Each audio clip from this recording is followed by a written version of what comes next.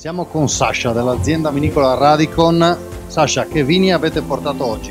Oggi abbiamo portato i nostri vini principali che sono eh, lo Slavia, un uvaggio, eh, la Ribolla e, un, e, lo Jakot che è un eh, Tokai friulano. Dove è situata l'azienda?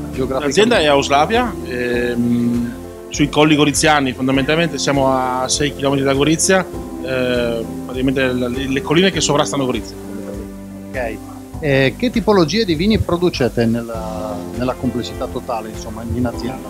Tutti i nostri vini sono focalizzati sul, sull'idea della, della, macerazione, sono la maggior parte, per il 90% sono vini bianchi e vengono tutti fatti con una macerazione sulle bucce. Alcuni vini con una macerazione più breve, altri con una macerazione addirittura molto lunga che arriva fino ai 4 mesi e con invecchiamenti anche molto lunghi, quindi che arrivano fino ai 6 eh, anni praticamente come, prima di essere immessi sul mercato vedo qua, permettimi, Jakot. Sì. È un nome... È un nome un po' furbo. Molto, molto particolare. È un nome furbo che non è nient'altro che toccai al contrario. Molto simpatica, eh? Jakot.